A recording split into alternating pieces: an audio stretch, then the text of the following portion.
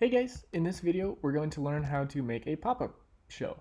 So when you shoot an obstacle, pretend that this is the username. It'll say username scored 5 points and then it should go away and yeah.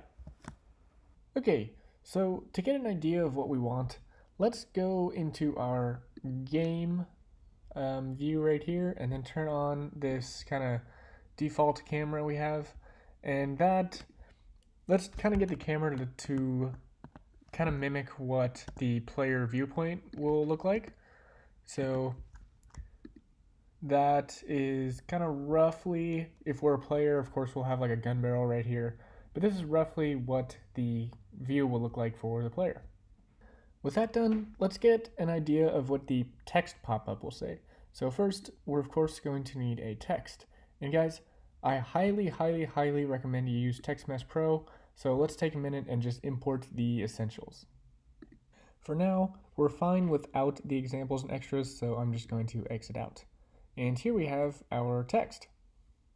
So let's get an idea of kind of how we want this. I was kind of picturing this text, first of all, which is very hard to see. Um, so I was picturing this text kind of popping up like over here in like the left-hand corner. Um, and I was picturing it saying something like player X scored some amount of points, like that. And then to make the, it's kind of hard to see what all this transform stuff means. So to make that easier, we can go into scene. And then the way Unity handles canvas, you guys are probably aware, it's just kind of like a massive thing in the sky.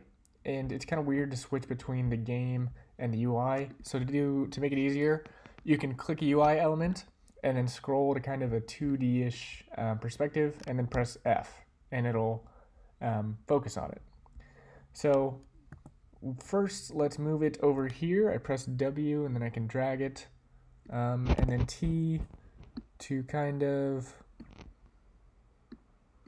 whoa, kind of make it decently sized and then we can maybe auto size perfect all right so it's a little bit big um, you guys make it look better if you want, but basically that's all, that's pretty much what I was picturing it looking like, so perfect.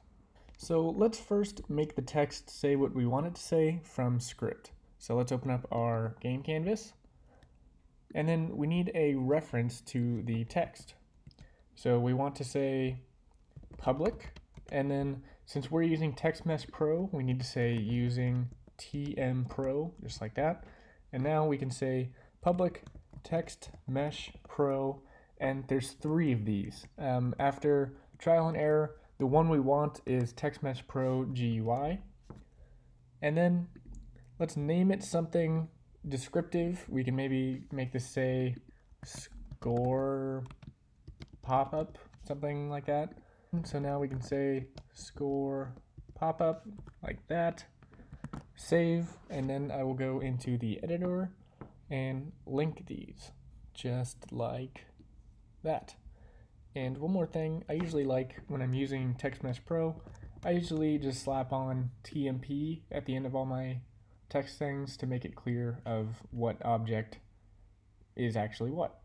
From here, it's actually pretty easy. We already have, we already print the event.message, so now we just need to say score popup dot text equals event dot message. Easy. So now the debug statement was already working, so now the text itself should work. And while we're at it, let's turn this text off by default and then set it active when we get the event, when we get this event. So score popup dot game object dot set active true. Really quick before we test, let's go ahead and set the obstacle value to 5. Okay, now we're in game, so if we shoot one of these obstacles, the pop-up should um, display with our username and points. And fantastic, it works. Now, while this works, it's actually going to be problematic if we want to have more than one at the same time. So what we want to do is we want to instantiate them. But if we make a prefab out of it, it actually is kind of weird. Um, so let's look at the canvas really quick and look at the Rect Transform 260, 195, um, and then this canvas It is the same. Oh, width 800, height 600. Is that the same? Um, no. See, so really weird. The canvas in the prefab is not the same as the canvas in the game. And furthermore, if you try to edit this, you can't see what it looks like in the game. So if I if I edit the size of this right, it's not going to show in the game. So we want to do something else. So what I've actually started doing in my games is first let's unpack this prefab and then we can actually just delete the prefab itself because we won't be using it. And I do this thing called templates. This is non-kosher. I haven't really seen anyone else do this. But when we make something a template, I want to set it off and then in the script right here, we can make this act as a prefab. So it's not technically a prefab. That's why I named it template, but it'll work effectively the same in that we instantiate something and then we set it active with the text that we want. So it kind of acts like it, but it's not technically. So with that in mind, let's go into our script and let's name this, instead of score pop-up, score pop-up template, just to be clear that it's a prefab-esque type of thing. So now these will give errors, but that's actually fine. We want to make a new game object right here. So Text Mesh Pro, score pop-up clone, and we want to set that to an object that we instantiate. What do we want to instantiate? Well, we want to instantiate the score pop-up template. Perfect, just like that. And now, instead of saying score pop-up itself, we just say score pop-up clone and score pop-up clone again. And now this should work. Okay, so now we're in game, and if I shoot one of these, the pop-up should work just the same, but as we see, it doesn't. Now, what the heck is happening? Well, if you look, it did instantiate and it does have the right text, but where the heck is it? Well, if we go to scene, we can see that what on earth is this doing? Um, there's a big object, it doesn't say anything, and I can't see it. So what's going on? Well, first, UI objects need to be within a canvas. That's why the text didn't show anything. But still, the text doesn't show, it, well, even though it, it is visible now, it doesn't show where we wanted it to. And that's because when you instantiate an object, it goes into world space and then the transform gets all messed up. If you look, these are different. And if we copy and paste the template into the thing we just instantiated, remember the template didn't change, it's still there, the same as it was. If we copy and paste that, now it should show. So in the script, we need to move the parent object to the canvas, and we also need to redefine the transform from the original template. So from experience, there's four things we need to do to achieve this. For the sake of brevity, I'm just going to write them. I'll try to explain them, but basically, just know that everything I'm doing, we're trying to solve the problem that we just had. So first, we want to set the score pop-up clone parent equal to the canvas. So we need to say score pop-up clone dot transform dot parent, and we want to set this equal to the game canvas object. To make this very clear, I'm just going to define the game object publicly and name it canvas. If you have a panel or something, this will be very useful because you need to define what panel it goes in. But for now, we just want to say score pop-up clone.transform.parent equals canvas.transform. After this, we want to do a few things with the rect transform. So we say score pop-up clone dot uh, get component rect transform, and this is the transform that UI objects have in Unity. And first, we want to set the size delta. And this is all of these things. I am fairly sure. It might just be these, but I think it edits all of these five. And we want to set that equal to the template. So let's just type in template and see if it pops up, which it does. We want to set that equal to that dot size delta, like that. Score template dot get component rect transform dot size delta. As you can already see, this is very annoying. Um, but there's two more things we need to do. The last two things both also have to do with the rect transform. So let's just copy and paste this twice. And then we want to edit the local scale and set that equal to the template local scale as well. And this is this right here. This got changed for me one time, so just to be safe, I edit that every time now. And the last thing is position itself. If you remember, we had to move it back to where it went. So position. So now with all these things, let's go test. So now if it works, we should see another game object pop up right below this one in the canvas. So let's shoot it. And yay, it does. And as you can tell, it works. And to make sure these things don't stick around, let's say destroy score pop-up clone dot game object after maybe four seconds. So now the clone will go away after four seconds, but again, the template will be still be around. Now, as I'm sure you all can tell, this is incredibly tedious, and you'll actually have to do this if you have other things to instantiate. So, as you can imagine, your code will be very messy and cluttery if you have to call this every time. That is my bird walking across my desk. So something I've done both to avoid writing these every time and to avoid the clutter is to go into Unity and I want to make a script and let's call it UI translator. Open it up and we actually don't need to attach it to anything and we can also delete this mono behavior and make it a static class. What this means is that basically we can call it from anywhere. So we can just say UI translator dot, and then we have access to all its functions. So we don't need to link it in the inspector, and we don't need to get a component from anywhere.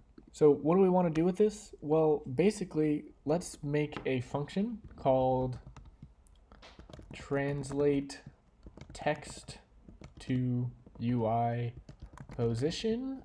And that is a pretty lengthy, whoops, I forgot to put void. And that's a pretty lengthy name, but I usually like to have my function names descriptive. And now let's just basically copy and paste this into this function. So as you see, we obviously get a lot of errors. This one is because I needed to make it a static void because there can only be static functions within a static class. And then these are obviously because we don't have references to them. So let's add references. Let's first take a text mesh pro argument, mesh pro argument, and let's name it text, basically the text you want to edit, which is the score pop-up clone. Let's also take a rect transform and let's name this desired size. And lastly, let's take a game object argument and call this the parent. So now with these, we can basically just go through and remove the errors. So the score pop-up clone, that is the text argument that we made. So we can just make all of those text. We want to set the text.transform.parent equal to the parent.transform. And for the template, we can actually just, since I put this as a rect transform, we don't need to get the rect transform, so we can remove this and say desired size, dot size delta. And the same for the rest of the rect transforms, just like that. And then if we're calling this function, we're probably going to want to set the text.gameObject dot set active true just like that. And with all this done now we can simply call UI translator dot translate and you see it has our pre-made function there and if you can't remember what the arguments are it'll pop up right here for you if you go in the parentheses so first we want the text which is the score pop-up clone it's already of the TMP Pro, which is what the argument takes. And now we want the desired size, which is a rect transform. So we'll say score pop-up clone template rather, score pop-up template dot get component rect transform, since that's what the function takes right here. And lastly, we want the parent, which is simply the canvas, which is already a game object. So perfect. So with that change the UI translator script, it should still work the same. So if we shoot this, pops up, perfect. And it goes away, great. I decreased the time a little bit to 2.5, but you can put it to whatever you want. But yeah, cool, it works. This is exactly what we wanted. You can add fancy animations if you want, and I would also recommend moving the, if you get two in a row, sort of moving them a bit so they don't pop over each other. But yeah, basically this is how I instantiate UI. So if we test it in multiplayer, let's shoot from here. There I am. Bam, it works. Oh, it's really ugly looking, but basically you get the gist of it, it works. Six scored, five points, and let's see if the client works. Um, oh man, my computer is not happy recording and doing two of these at the same time, but let's just see. So it works. This appears in a different place because, let me just show you real quick, and then we will end the video. Go into our sample scene. And it looks weird because the canvas scaler, we have it set to a constant pixel size. Let's just set it to scale and then do match 0.5. So now it should grow naturally and look the same on every device. Yay.